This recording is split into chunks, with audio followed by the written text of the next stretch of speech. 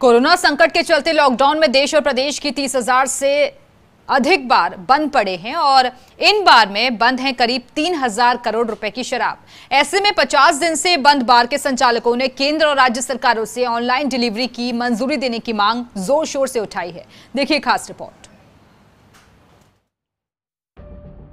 Corona संकट के बाद लॉकडाउन के चलते प्रदेश का होटल, रेस्टोरेंट, व्यवसाय हाशिए पर आ गए हैं। Hotel, bar club bar, restaurant bar सभी बंद पड़े हैं और इनमें करीब 100 करोड़ रुपए का स्टॉक अटका पड़ा है।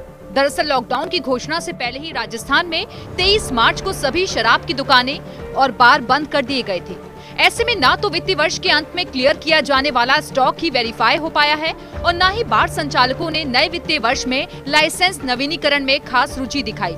ऐसे में प्रदेश की नौ सौ निन्यानवे बार में करीब 50 दिन से 100 करोड़ से अधिक की शराब और बियर बंद पड़ी बार के काउंटर और गोदाम में है।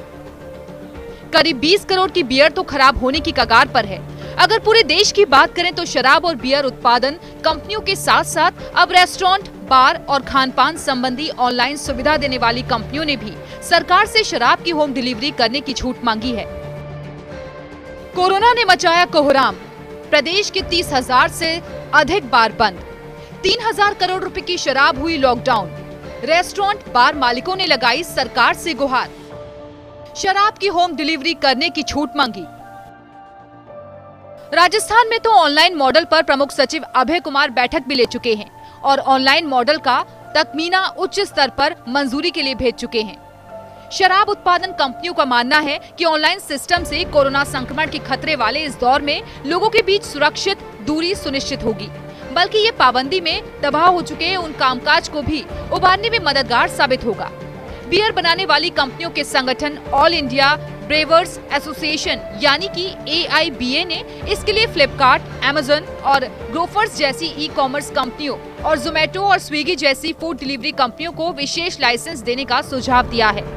बता दें कि संगठन ने कहा कि ये कंपनियाँ ऑनलाइन ऑर्डर ले सकती हैं। और लाइसेंस प्राप्त खुदरा और थोक शराब विक्रेताओं के ज़रिए मांग को पूरा कर सकती हैं।